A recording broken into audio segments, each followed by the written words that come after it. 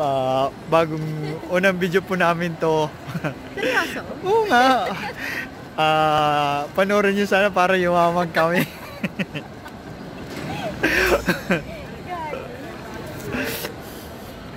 trip trip trip lang para lang magkapera. O, tayo mo tong isa. Nagbabakasyon, puro utang ang pera.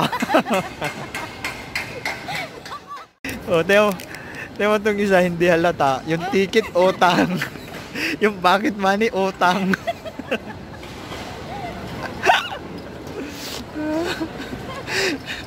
May kulay pang buhok para naman daming kinakain.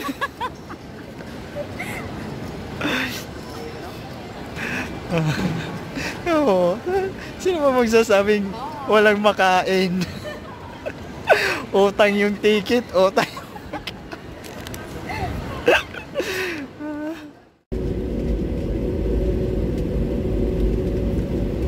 yes, mga pordoy, kalalapag lang po namin.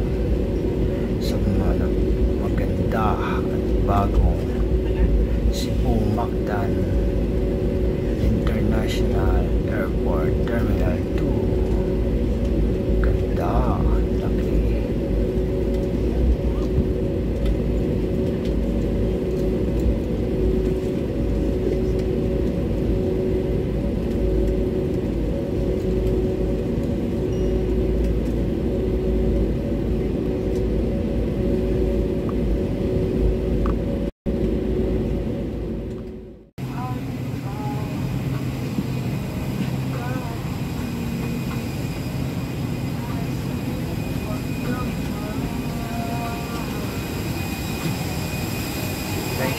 May isa pang nakatulog dito.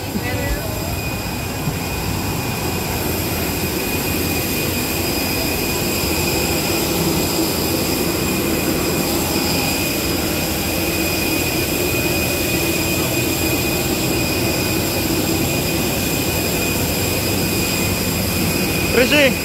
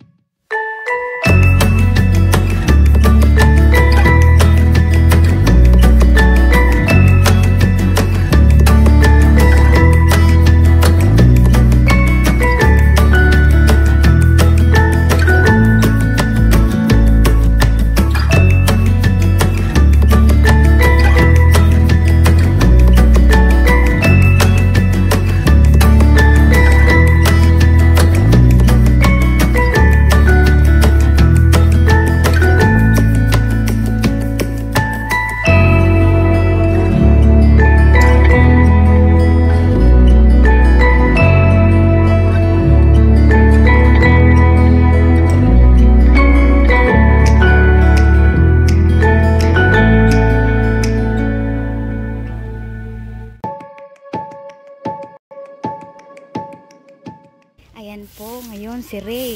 Dito na, dito Wala na, nang pera. dito na lang po siya ngayon nagtatrabaho. Dumayo pa po yan ng Cebu para lang magwalis dito. Yan po yung buong winawalis niya.